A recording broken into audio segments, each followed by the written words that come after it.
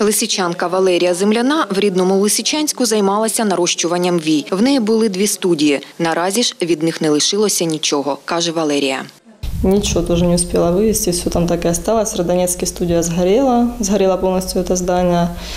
М, В Лисичанске даже не знаю, даже если он остался целый, то вряд ли там м, сохранилось оборудование. Коли Валерія приїхала до Хмельницького, часу дарма не витрачала. Одразу взялася за справу. Вона почала займатися нарощуванням вій та волосся. Навіть відкрила власні курси за цими напрямками і ділиться своїм досвідом з іншими. Окрім того, почала працювати й тренеркою з пілону. Я специально пыталась нагру- нагружать себя работой, чтобы не вовлекаться в эти все новости, м, не накручивать себя, не погружаться в эту депрессию еще больше, потому что она у меня была, и выбраться из нее не так уж и легко. И я пыталась себя загружать как можно больше любой работой. Валерія розповідає, на такі зміни в своїй діяльності підштовхнула війна. Я хочу каких-то перемен. Вот эта война, наверное, она именно сподвигла конкретно поменять все в жизни. И я хочу со временем э, діяльності. Незабаром Валерія планує зайнятися ще поширюванням салонних косметичних засобів догляду за волоссям. Каже, такий темп допомагає їй триматися на плаву і фінансово, і морально. Олена Коновалова, Віктор Кривий. Новини на Суспільному. Хмельницький.